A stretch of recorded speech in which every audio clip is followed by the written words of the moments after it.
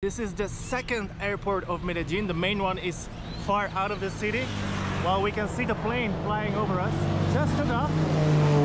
That also means we are already at our fifth comuna of the day. We are on a roll, guys. This is Guayabal. Only four kilometers done and already five comunas. But this is the easiest part. I started with the easiest part, with the safest part. So we're gonna continue now and I'm pretty sure it's going to be a challenge. we're reaching a milestone here. We're crossing the Medellin River. You can see the metro arriving there in the metro station Industriales. We're crossing the river, so we're moving to the other side of the city, which means we're entering Poblado. Comuna number six, I think. As we're entering Poblado here behind me, you can see the center of Medellin. We're going there next. Look at all the buildings and towns up the mountains there. That's usually the area you don't want to go. How higher up the mountains, how more unsafe it is usually. So we're gonna go a little up, but not too much. We are leaving Poblado and we are walking to the center and you can immediately see it's a bit different from the previous commune. Look at these streets, it's just lined up with car businesses. No more green, only stone all the way around us. A lot of noise, a lot of pollution. I can really taste it. And the closer we're going to get to the center, the rougher it's going to become. On the other hand, we have this beautiful street graffiti here. Look at these monkeys.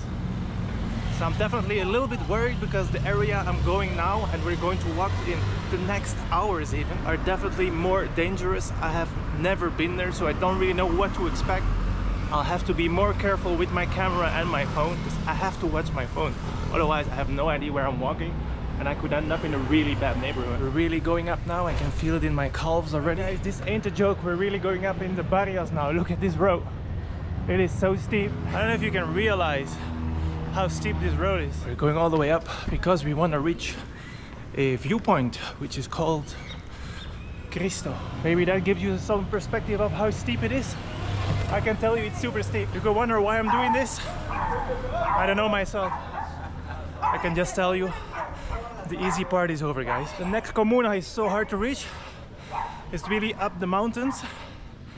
And we're not even there yet. Look how fast we're going up. We can see the center behind us. And besides a little traffic, it's pretty calm here as well. There is the Cristo Salvador. It's also time to reveal in which comuna we are. Let's see if we can find a sign or we can ask someone to confirm where we really are. There should be a very nice viewpoint as well. I don't know how safe it is here. There are like a few guys. They're already looking at me, so let's be careful. There it is. Cristo Rey. No, Cristo Salvador. Let's have a look at the viewpoint. Actually, let's go down here. Oh wow, there's a little gym down there as well. And there's a girl working out. Let's look at the viewpoint here. Wow. You can see guys, we went quite a bit up.